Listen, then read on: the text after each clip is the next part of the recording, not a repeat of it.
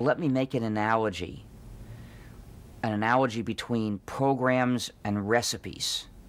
So a program is a lot like a recipe. Each one is a list of steps to be carried out with rules for how to tell when you're done or when to go back. At the end, there's a certain result. If you cook, you probably exchange recipes with your friends. And you probably change recipes too. And if you've made changes and you like the results and your friends like eating it, then you might give them the, the changed version of the recipe. So imagine a world where you can't change a recipe because somebody has gone out of his way to set it up so that it's impossible to change it. And imagine that if you share the recipe with your friends, they will call you a pirate and try to put you in prison for years.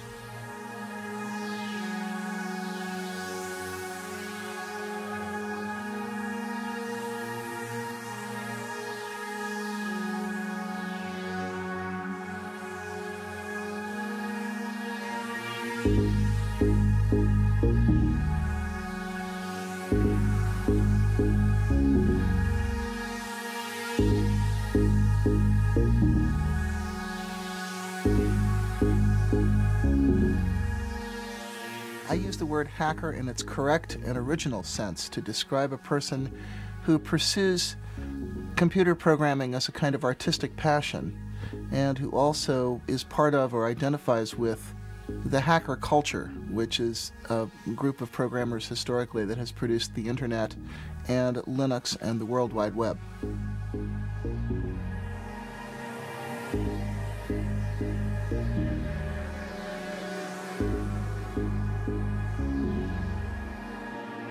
I guess you have to be a hacker in order to understand the specific mindset.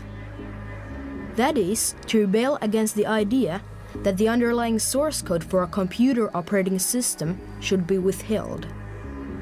This open source attitude doesn't mix smoothly with the concept of free market economy. It is also a threat to the traditional concepts of copyright and intellectual property. Companies like Microsoft that base their business on closed source code have tactically molded free software into an image of a monster of almost McCarthyian proportions. All this made up one of the strangest success stories of the 1990s, epitomized by the community's gifted leader and invaluable icon, who planted the seed for a movement whose ramifications continue to spread. Linus Torvalds har skapat ett datasystem som har slagit hela branschen med häpnad. Linux, an operating system that now runs 8 million of the world's computers. Wired-lehti julistaa tämän nuoren miehen Väinämöisen veroiseksi shamaaniksi, jonka kehittämä Linux-käyttöjärjestelmä on internetin upein mestarituote. Torvalds' decision to distribute Linux for free and reveal its underlying source code has made him a quasi-cult figure. Linus Torvalds datageniet som drömmer om att fälla Microsoft-jätten Bill Gates. Hur går det?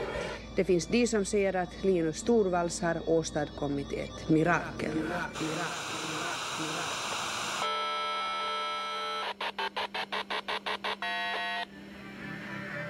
These worker ants are constantly in contact with each other via modems, releasing code, encouraging feedback and modifications to create the best possible operating system in the world.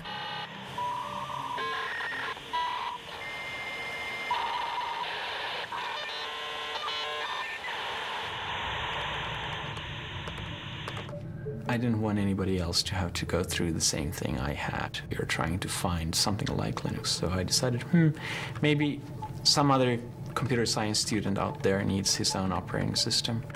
Then he doesn't have to start from scratch.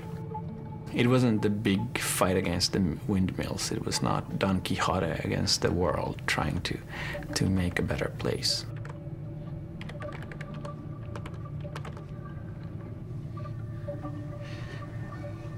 Ha mat? I much prefer working with people over email than than face to face. Face to face, you tend to get into all these meeting arguments and all the details that really shouldn't matter. over email, you have to kind of think a bit before you send off a reply.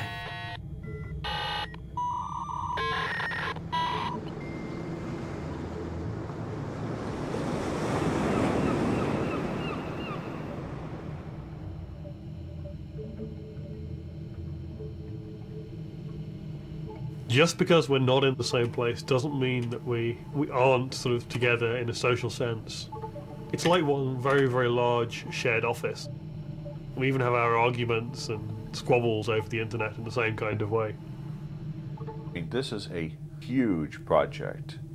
There has never been a software project that I know of that's been worked on by so many people from so many dispersed places to put this all together the most innovative thing about the Linux community is not its source code, but the social machine that has developed around the source code.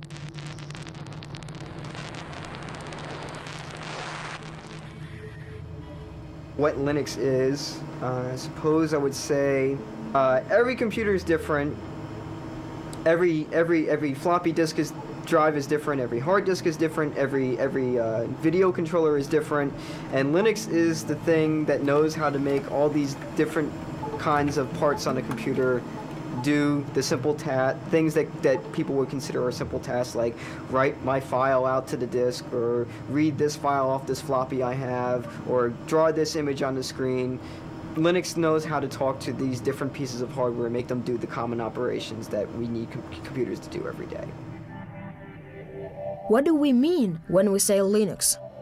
Some mean the whole computer operating system on which everything that happens in a computer lays. Some say Linux, pinpointing at the single most important program, the kernel.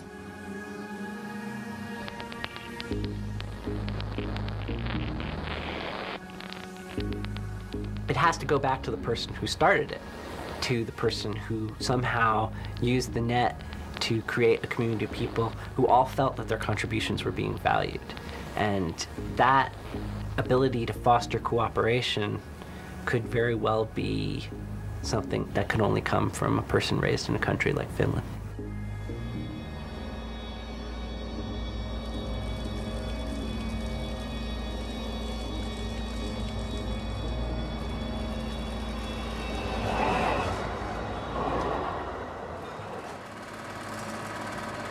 1969.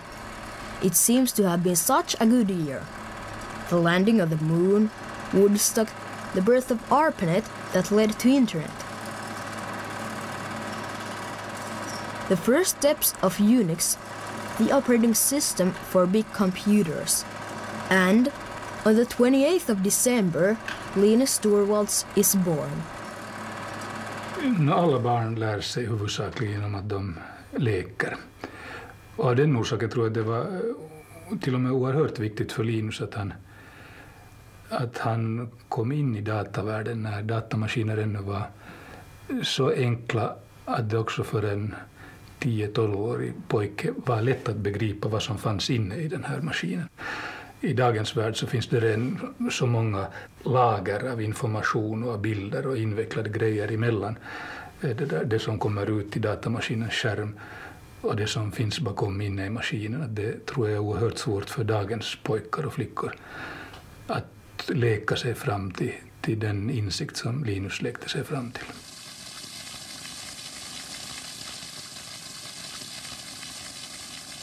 Jag tror det var kärlek vid första ögonkastet både, både för min pappa och, och för Linus som tillsammans var barnsligt förtjusta båda två i att pröva de möjligheter som VIC 20 gav. Platsen där Linus utvecklar Linux finns ju inte mer eftersom väggarna har rivit. Här i det här hörnet, eller ungefär här i, som nu är soffa, så, så var Linus skrivbord och, och dator som han jobbade med. Jag skulle säga att den största förändringen är, är faktiskt just, just det att han är så numera är som jag brukar säga en stand-up-guru för att han är van att uppträda för publik och han kan ta sin publik. Det är kanske inte förvånande men, men i alla fall eh, frapperande när, när man jämför med hurdan han faktiskt var. Och det där, relativt blyg och tillbakadragen och inte den som själv tog kontakt utan hans vänner var de som höll kontakt med honom. Hello, everybody out there using Minix. I'm doing a free operating system, just a hobby, won't be big and professional like GNU for 386 and 486 AT clones. This has been brewing since April and is starting to get ready. I'd like any feedback on things people like or dislike in Minix, as my OS resembles it somewhat. Any suggestions are welcome, but I won't promise I'll actually implement them. Linus Torvalds at Kruuna Helsinki Fi. 1991. The Soviet Union closes down. The Gulf War. British physicist Tim Berners-Lee releases a hypertext system calling it the World Wide Web. Microsoft is well on the way for world domination. And on the 17th of September, Linus Torvalds sends the first version of Linux, 0.01, to the world via internet. The first responses arrive within hours.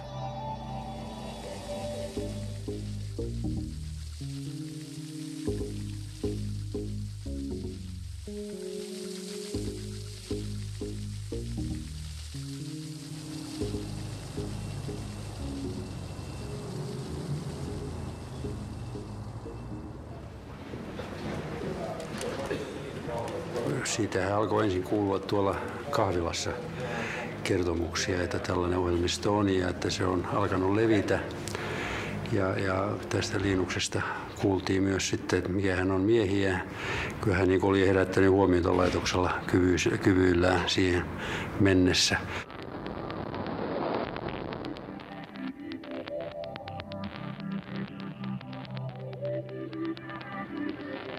Linux based Linux on Unix because of its basic ideals. The original Unix operating system had been created by Ken Thompson and Dennis Ritchie at AT&T's Bell Labs in 1969. Unix was in the beginning a relatively free operating system and very popular in university circles. The philosophy is based on two notions. Firstly, everything is a file. Secondly, when you build something, you write things that are for a single purpose, but that do that purpose well.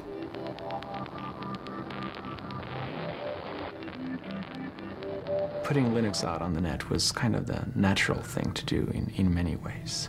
And there were a lot of small reasons, like the fact that, that I thought it was a good idea anyway to, to make Linux available to others so that they could try it out and, and send comments back to, to me. He really had two choices.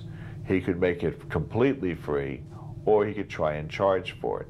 Linuxista ei olisi tullut yhtään mitään, jos hän olisi ottanut siitä taloudellista hyötyä, myynyt sitä. Ei kukaan olisi ostanut sitä. Se olisi ollut ihan dead end. Siitä onkin vähän aikaa, kun täällä viimeksi olet käynyt, että Joo. tässä on jo vaihdettu Linuxin jakelukone kolmanteen eri ve- uuteen versioon. Että... Joo. Meillä oli aluksi vaikeuksia saada Linux-kamat mahtumaan. Niin Näin oli, joo. Nämä oli... Alun perin Linus ei halunnut julkistaa Linuxia mitenkään vapaaksi. Se mietti sitä hyvin pitkään, että minkälaisen copyrightin alle Linux laitetaan. Ja sitten mä sain pikkuhiljaa ylipuhuttua Linusin julkistamaan Linuxin GNU-copyrightin alla. Especially as, as the compiler I used was released under the GPL, I eventually ended up using the GPL myself. The GNU General Public License, GPL, funded by the Free Software Foundation in the mid 1980s, says that if you change and modify the code, you have to make your changes and improvements freely available to anyone.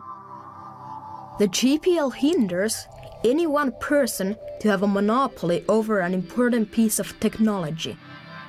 I think that, that the timing was definitely, uh, uh, even just a year earlier, I don't think it could have been done. and a year later somebody else would have done something similar. The internet was basically hadn't gotten started in, in, in kind of the general population, but it, it was getting very strong in, in university networks. Mä olin tehnyt siellä postituslista ohjelmiston ja sitä piti koko ajan laajentaa sinne lisää ominaisuuksia. Ihmisiä alkoi olemaan tuhansia hyvin varhaisessa vaiheessa jo kiinnostuneita. Se oli varsinainen yllätys, koska se, se niin kuin tuplaantui aika pienin aikavälein. Se on ihan käsittämätöntä, että tuhannesta ihmisestä tulee seuraavana päivänä 2000 ihmistä ja sitten tulee 4000 sitä seuraavana. Joo, ilman internettiä se Linuxin kehittäminen on ollut kirjessakkia.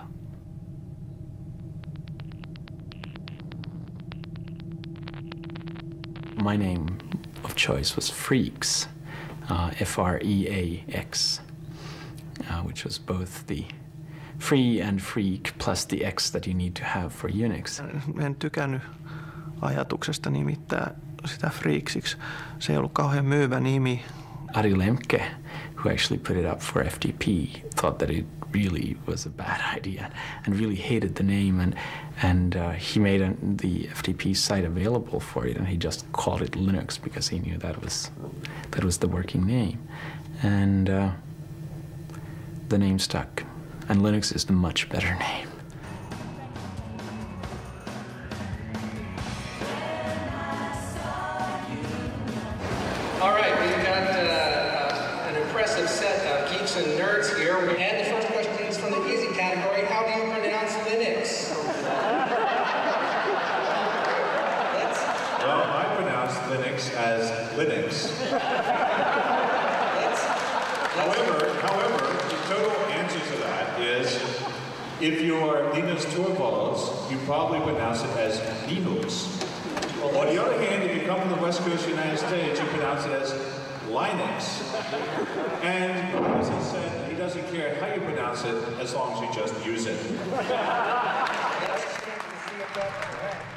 Was in July of 1991, uh, which was shortly after Linus had released the 0.09 version of the kernel, uh, that I started playing with Linux. Heard about it on, I think, Usenet, downloaded it from Finland, started playing with it, thought it was really neat.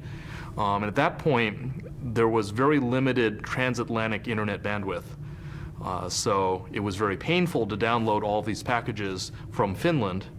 Uh, and so I decided, well, we need to do something about this. And I used my personal workstation that was on my desk, which was tsx11.mit.edu, and I set up a mirror archive of all the kernel sources on my private workstation. And that was the first um, US Linux FTP site that came into existence. The first time I got Linux was I downloaded the floppy images for Linux, uh, and in the Penn State University computer lab, I installed it on one of their machines, and uh, they, they subsequently kicked me out of the computer lab that day. But that was my first experience with Linux.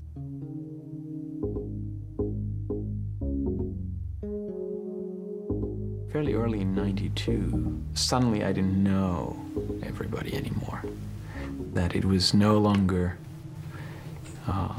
me and a couple of friends. It was me and a couple of hundred people who I had no idea where they where they were, what they did with the system, and and who they are. And that was that was a big step.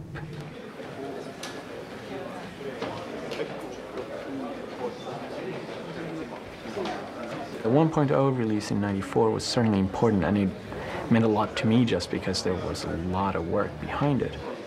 It was certainly a landmark to commercial use of Linux. It was really hard to use Linux commercially before uh, 1.0.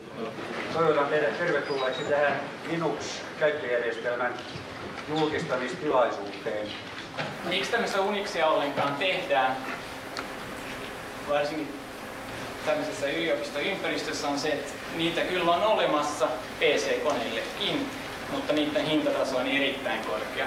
Eli kun esimerkiksi DOS nostaa kotikoneeseen parilla sadalla markalla, niin tuommoinen Unix kotikoneeseen maksaa helposti parikymmentä tuhatta markkaa. mikä on opiskelijalle hiukan liian paljon. Menkää vaikka jonnekin tietokonekauppaan, niin kysykää, että onko teillä SCU Unix, niin ne katsoo teitä sanoo, että ei, emme.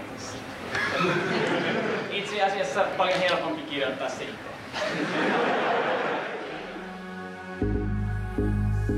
The development process of Linux is odd. It is not a hierarchy. Everyone is free to suggest and send changes to the code. There's one person who leads, makes the big decisions, and chooses the best ideas. Linus, the benevolent dictator. Everyone knew that someone had to be the head of this work group, and Linus was the natural head given that he did the original core Linux uh, kernel, and Linus was someone who was a very, very good leader. He's someone who's actually quite humble. You know, he doesn't try to take credit for stuff that he doesn't do.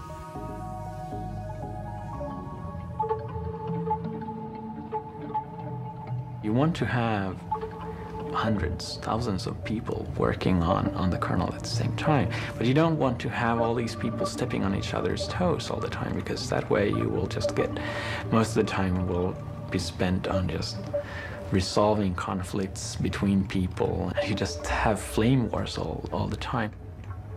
I used to think that it was this hierarchy where I was at the top and they were my lieutenants and and uh, I don't think it's that way anymore. It's more like a, uh, a web of trust where I have people I trust and they have people they trust.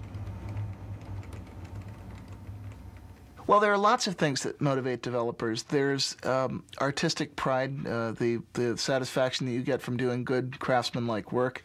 There's the idealist feeling of being something larger and uh, more part of something larger and more important than you are. Uh, there's a desire to help the world and see good solutions happen. In the absence of monetary rewards, most people, most of the time, are playing for a kind of reputation reward among their peers.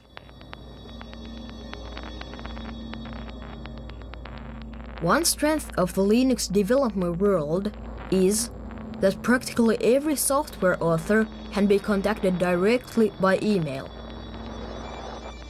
Ted Ts'o was crucial in the spread of Linux in the United States. To be fair, it's very easy to say, if we were in charge, we wouldn't do these things. But then again, we're not getting all these email messages saying, please let me add this new feature. Um, and so I don't know what I would actually do if I were really in charge. Dave Miller is a maintainer who reviews changes that developers want to make in the kernel. He's like a funnel between the contributors and the King Linus. The way that we work is you can talk all day about a great idea or a solution to a problem or something that, that you think is an interesting feature for Linux to have. But you've got to show us, show me something concrete. Show me a piece of code that does that. So, so something that's tangible that I can test myself so that I can try it out and I can think about what it is instead of just talking abstractly about a topic all day. Alan Cox, a Renaissance hacker, is the closest collaborator to Linus, his right hand man. Me, code has more in common with, for example, poetry or some kinds of writing. And the beauty of it is in structure, in putting ideas across one at a time in a clear way. So a good piece of code you can read without comments and it's immediately obvious why it's been written, how it's elegant. And so you're looking for code which is both clean and elegant, but also doesn't rely on clever programming tricks, doesn't make assumptions which may not be true in the future. Because the last thing we want to do is to have much code in the Linux kernel which requires large amounts of effort to keep it working. We want code which will just continue to work and work forever.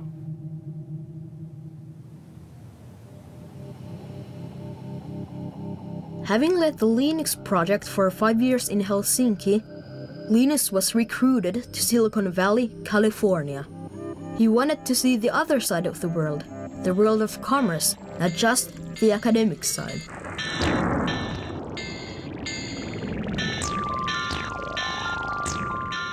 You're, quite an unorthodox figure in the Silicon Valley world. What do they make of you there? You've not taken the, the, the crazy commercial path, if you like. King of America. Southbound Redwood Parkway. The weather's quite like the Antarctica. You're never alone in Silicon Valley, USA. Seems I was the chosen prodigy. Writing for the sonnets by Shakespeare. Some sort of alchemy, we couldn't even get near. The make did me Harry the earth. The geeks, we found the web. We'll probably sell the shares as soon as you can. Get out and go on to the next thing. Young. Should the king of America.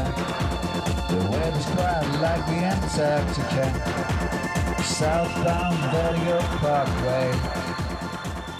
Linus started to work for a company called Transmeta. Not a Linux company, but a mysterious business that didn't want to tell for many years what it was up to. And paradoxically, a closed source code company. The deal was that Linus could still concentrate on developing Linux. I have been forced into trying to be a kind of poster boy for Linux. Uh, and, and actually the whole open source community at large, even though I wasn't even the person who started open source. There's no single person that represents the whole story, and there's no single starting point. I mean, it's like the bamboo. You don't know where it starts, where it ends. I don't think that this, this movement is actually new at all. Um, it's been around for a long time.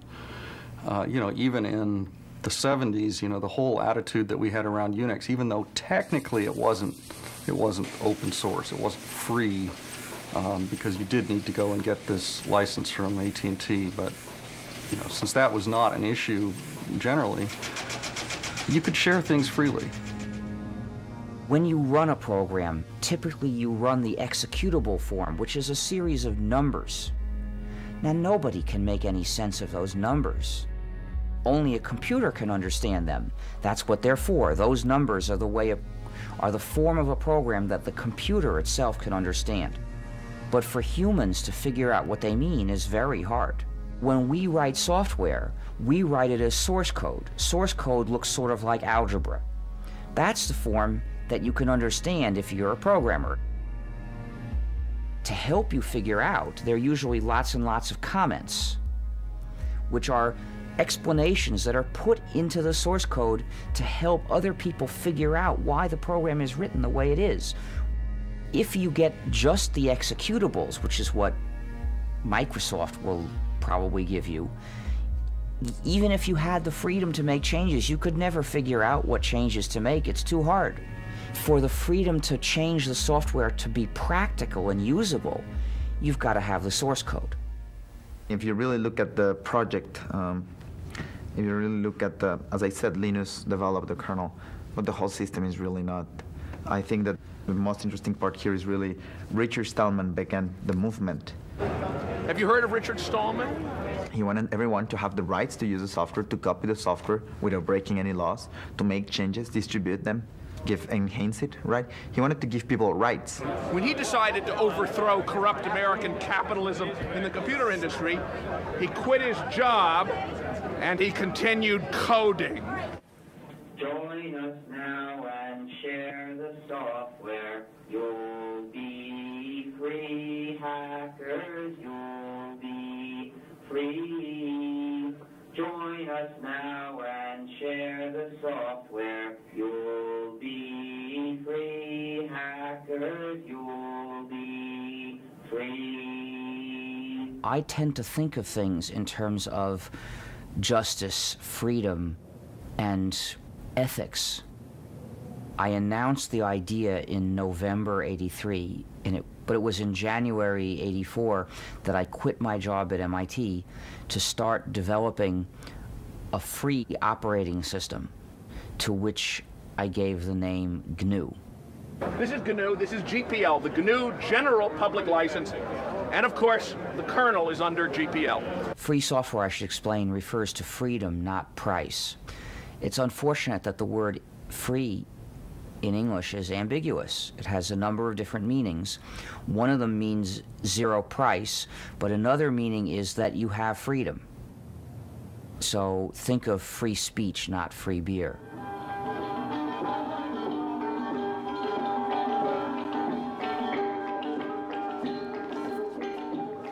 There is a similarity between the folk process where a poem or a song or a story can get refined and reshaped by one teller or singer after another, and the way free software gets improved.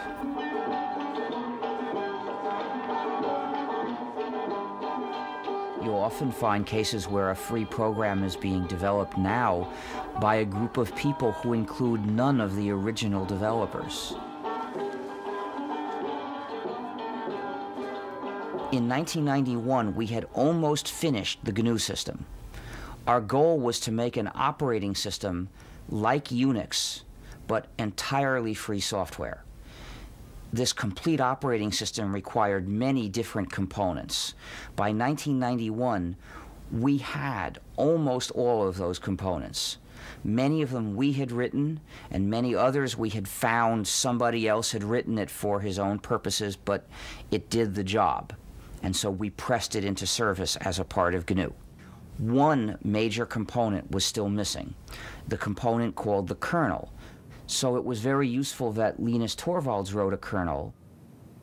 At that point, combining his kernel, Linux, with the larger GNU system produced a complete runnable system that you could actually put onto your PC and run. So once Linux was developed, the GNU system, in effect, was completed and it began to catch on in popularity. But at the same time, an unfortunate thing happened. The people who were using the GNU system didn't realize it was the GNU system. So they began calling the whole combination Linux. And that confusion spread. And as a result, it's very hard for us in the GNU project to call the user's attention to the ethical and political issues. Can get piles of money, that is true. Hackers, that is true. But they cannot help their neighbors, that's not good. Hackers, that's not Most computer science in the USA comes traditionally from military background and defense spending. Perhaps it isn't any more quirky that nowadays free software movement finds room both for Richard Stallman and libertarian ideals. Many saw free software also as a new way of making money and needed a less radical concept. Enter open source.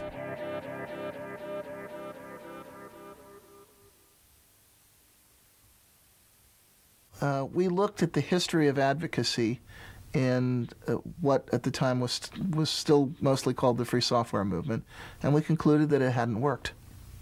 That in fact the rhetoric and the tactics used by Richard Stallman and the Free Software Foundation had probably left us worse off than we were when we started. The term open source doesn't really imply a lot of political issues like it used to. The, the, the free software term still does.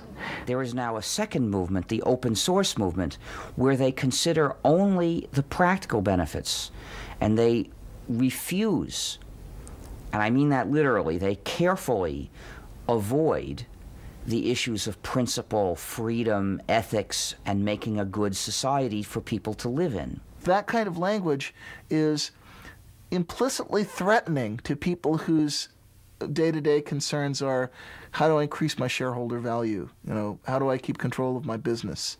How do I address my my my, my actual uh, down to earth problems. People like that, you know, you, when you walk into their offices and say, you should use all open source for your business because sharing is good and hoarding is evil, it doesn't work. It just does, as communication, it fails. I am not against business. I don't believe in abolishing business.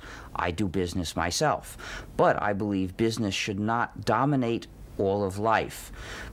The rules of society should not be chosen primarily to please business. In early 1998, majority usage in the community went from free software to open source in six weeks flat in the late spring, early summer of 1998. And that told me that there had been huge pent up demand in the community for a way of, of explaining what we were doing that was, that was more effective. The whole attitude in the trade press and in the investor community completely turned around 180 degrees.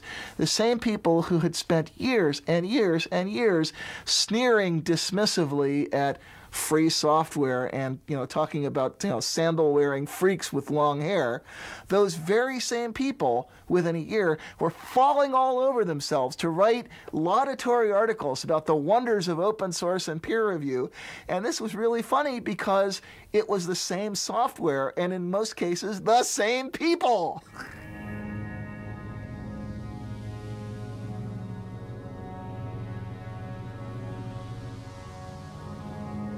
Linux happened without the help of people with deep pockets, or even despite the help. How can we keep from destroying the magic by pouring all of this money into Linux? When, when Linux started to become commercialized, people said, oh, well, you know, we'd like to keep it as our own little project and things like that, and nobody should be making any money off of it. Well, in the real world, people make money off of things. The, you know, in the United States, it's a capitalistic society. In Europe, it's a capitalistic society. And in order for companies to start using Linux, they want to have somebody sitting there who can give them support, who can sell them the hardware, who can do all this type of thing. And these people who sell this hardware and sell the support are going to make money. Not every one of us is a hacker. Actually, very few of us will take the effort to download our own Linux from the net. Even fewer will tackle with the code itself in order to improve it. Though Linux was hard to use, customers valued strongly its reliability and open source code. There was an opportunity for companies with new visions.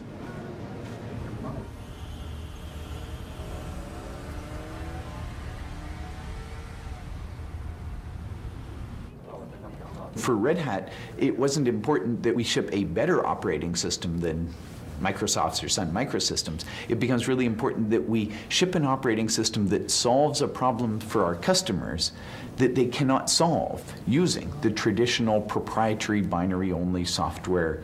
We're recognizing what we were doing was we were building technology and then giving it away. So we said, well, how do you make money doing this? And uh, of course, we would go to California, to Silicon Valley, and everyone would say, well, you cannot make money in the software business giving your technology away.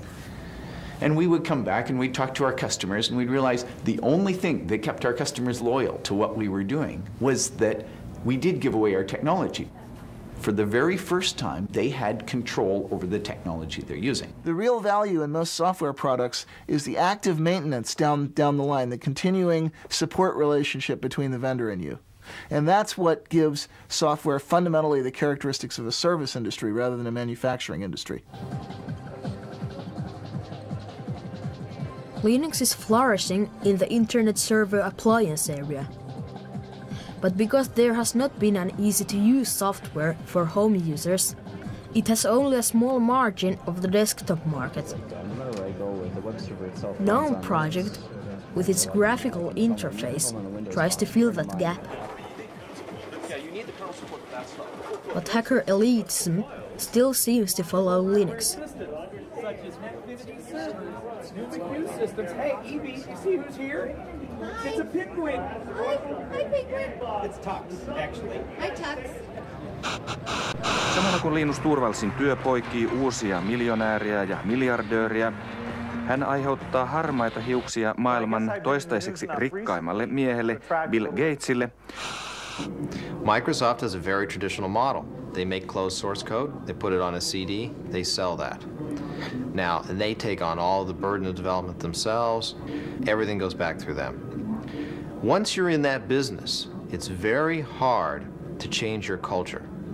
It's very hard to change your business to one where you cooperate, where programmers are used to releasing code. It's easier to make money off of closed source products uh, if you uh, don't need to, or you have the huge market share. So, for example, um, Microsoft does not have a huge incentive to open source their code right now, and it would probably cut into their profits. So, they're, I don't think they're going to do it, or at least not willingly.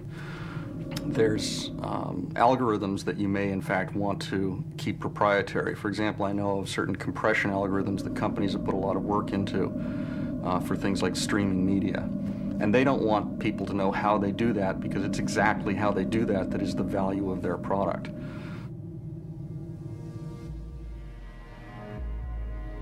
Fighting between Linus, who's the leader of Linux, and Bill Gates, who's the, the, the leader of Microsoft, and it becomes really personal.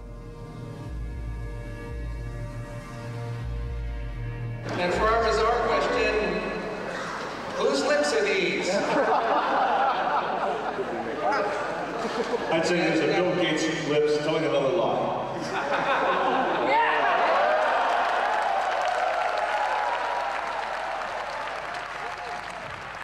the acceptance of Linux has been helped enormously by the fact people have known that Linux exists through the news.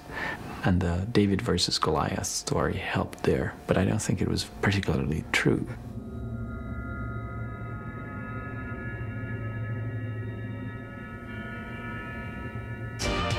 You're a socialist. That's one of the labels people put on. Is that true? Det är ju ingen hemlighet, jag tillhörde radikalerna i slutet av 60-talet med gamla studenthus och studenternas FN-förening som organiserade nästan alla demonstrationer på den tiden. My personal belief system is more one of personal honor. And I don't care what anybody else does. Um, I want to do what I feel is right. Att Linus håller sig oerhört på ett mycket bestämt avstånd från det där, från, från politik. Och det hänger säkert ihop med att han så att säga skadades lite under sin tidigare, tidigaste barndom av en mycket aktiv och politisk far. It is also about having a social conscience. And if you call that socialism, then yeah, I guess I'm socialist. Att han är radikal inom ett eh, ganska bestämt område där han själv skapar ramarna för sitt område. Och, eller han går, som jag upplever det, oerhört ogärna ut i, i det där i, i lösa, lite flummiga samhällspolitiska resonemang. Och där finns den här skiljelinjen mellan den här pragmatikern som vill syssla med någonting som är kännbart och inte låta liksom ångan åka ut genom det där öronen och flumma iväg om någonting som, som vi gärna gjorde på 60-talet. This is a community you can take, but you must give back. I am very pleased to announce to you today that the winner of this year's IDG Linus Torvalds Award is Debbie.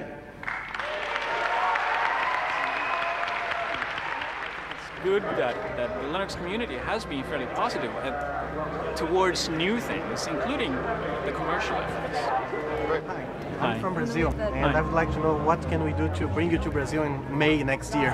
Can you come to the VA, the, the VA party Wednesday night? I will almost certainly be there, yes. But I need to go to the green flag. See you later. I, I'm hearing that you're going shooting during the Well, you come with us, man. No.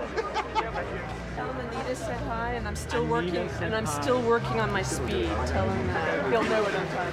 And I'm sure a lot of the community is worried that, you know, these big enterprises, these big commercial vendors are not going to be able to give back to the community.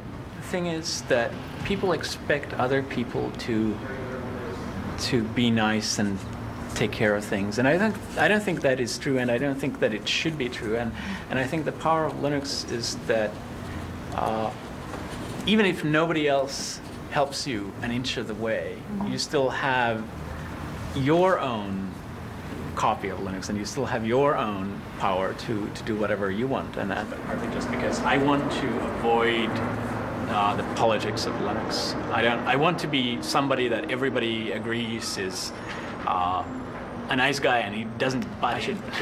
Next Doesn't Just one last question. Sure.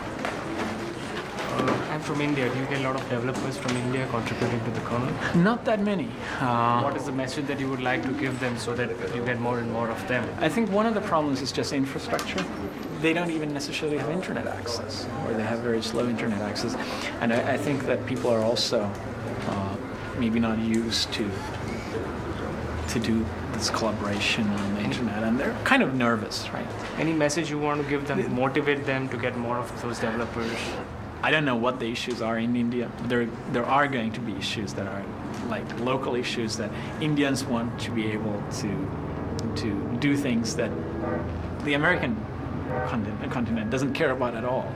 And I think that's really motivational when, when somebody says, hey, I can solve this and I can make my own version of Linux and it will be better for me, right, as an Indian or as a just whatever person.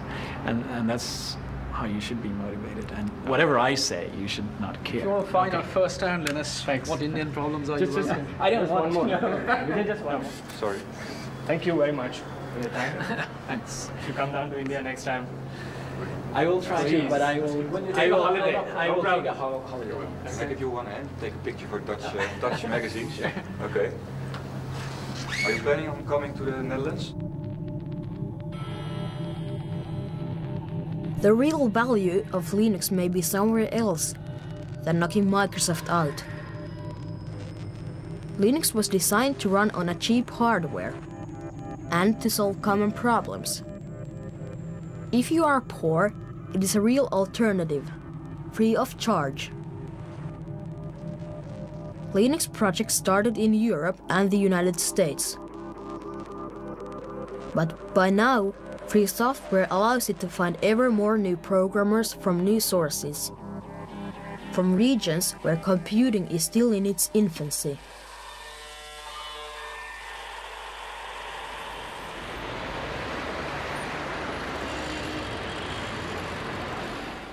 因为你也知道，中国这个整个在信息产业方面，呃，在世界就比较落后啊，落后于世界那个发达国家有很大的距离。那么中国在发展过程中，希望尽快赶上去。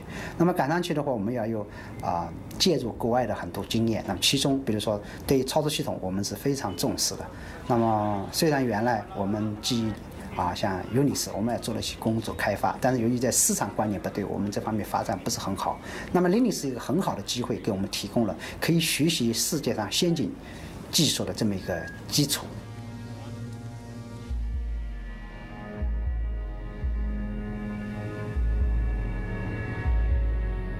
And I think that this is the greatest transfer of wealth we may have ever seen between kind of the industrialized rich North and you know, I'll put Europe and the United States together in that, and, and the third world.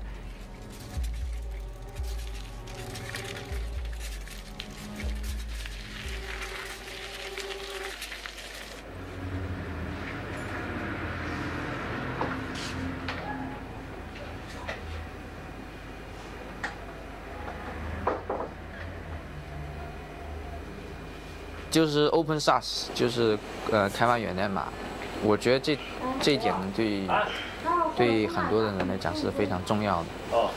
因因为我毕竟是很喜欢哲学，说我所以我我很多时候喜欢从哲学的这种角度来看，就是说，我觉得它是比较符合呃符合科学精神，就是说把这些知识共享，就不会有任何的隐瞒。就我觉得印象比较深的这些。我在那个公路上面加个 News 服务器吧，起身作业啊。好啊。我加完了再跟你们说吧。OK。其他领域，所以我我不我从来不把它看作只是在这个电脑界里面才会有作用的。You have basically one of the most privileged classes in in capitalism, programmers. They can make so much money from working as programmers that they have the time to devote to their own hobbies. Programmers like Alan Cox, they could name their price. Here are these people who are at the top of the heap and you know, through the structure of transfer of intellectual property that they've come up with, they are transferring that wealth.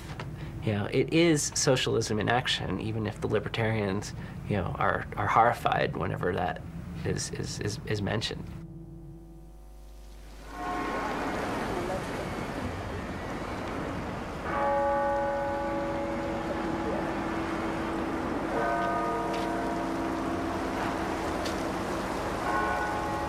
Open source projects have been compared to the way science is created. Science in itself doesn't make money. The wealth comes as a result of applications. For the open source hackers, developing Linux has traditionally been a science-like voluntary project. A hobby. Eventually, the best Linux hackers were enlisted. In 1999, during the dot-com boom, some of the Linux companies went public. Wall Street announced record-breaking value for Linux stock.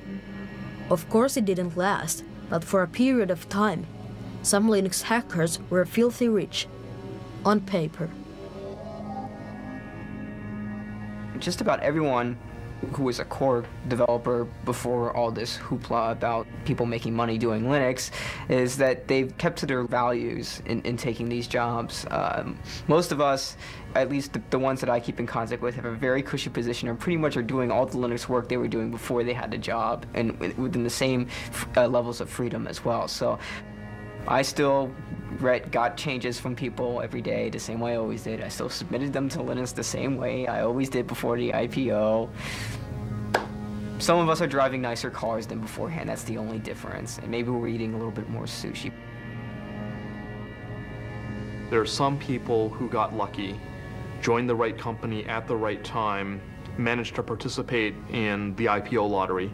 Um, and there are some people who got millions of dollars, and there are some people who got billions of dollars. And you know, did those people actually contribute more to the company than those other people? In some cases, they just happened to contribute the right amount of investment money at the right time. And I think that's a generic problem. It's not unique to the open source community. Um, and I, don't know that we actually have a good solution for that part of what I like about uh, Silicon Valley is just that it's so dynamic and you can do anything here. And even the, the money grabbing approach, I mean, even if it's slightly tasteless, especially when you come from Europe, it's, it's a really good motivational factor and it's a really good way of getting things done. Has it changed me? I I assume so. I mean, it's not the same. I'm not the same person I was when I moved, but but I don't think it's made me all that more money conscious than I used to be.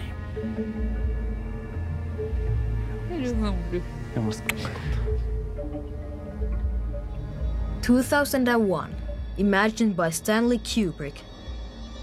In the most ambitious and grotesque PR stunt in history, suicide hijackers blitz America, with far-reaching consequences. IT recession affects also open source. No longer does Linus have to act in public all the time, as an enlightened philosopher ruler, harassed by the media. But the coolness of Linux still intact. The phenomenon disappears into gadgets, invisible pieces of technology for households and entertainment industry. Gradually, many of us turn into Linux users when the code infiltrates our clocks, toasters and mobile phones. As for bigger ideals, it could be one of the greatest missed opportunities of our times. If free software liberated nothing but code.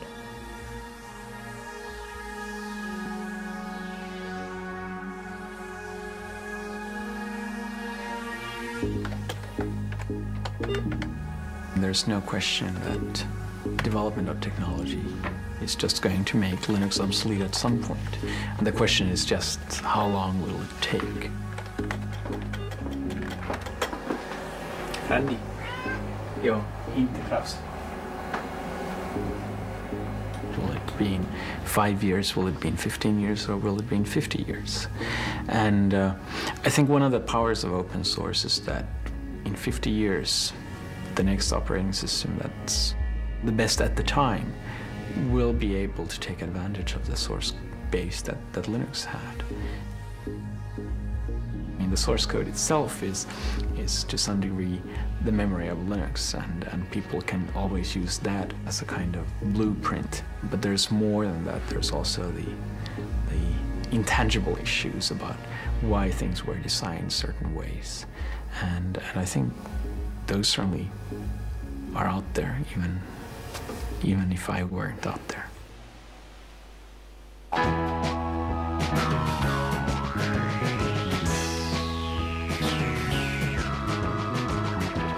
A breath, start thinking. The type is for printing, and the book that will get people thinking. Let's in the room setting. Start to imagine a language we're swearing and eating and chatting. It's like this that it happens, like this that we see. Big changes through our human history. Not by some powerful test decree, but by tiny incremental degrees. Miss Linus goes to Washington about praxis. Rachel Chains, Little Man, and Universal Access. Linus against Goliath with nothing else to fill but sling a little stone in the face of Big Bill. But Linus Jefferson's give the strings that lose, and it changes the way the world plays the blues. It's like this that that we see. Big changes through human history.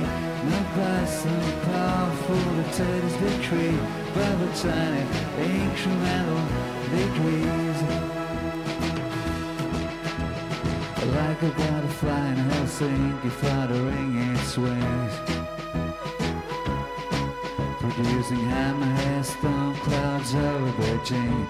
When Hemlock programs become a community.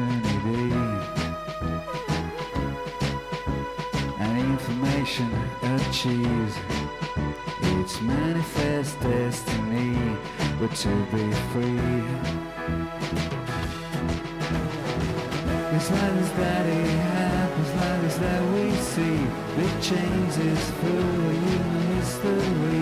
Not by some powerful dictator's decree, by the tiny incremental degrees. It's like that it happens, like this that we see. Big changes through human history. Not by some powerful dictator's decree, by the tiny incremental degrees. It's like this that it happens, but that's what we see. Big changes throughout human history. It's lies that it happens, lies that we see. Big changes throughout human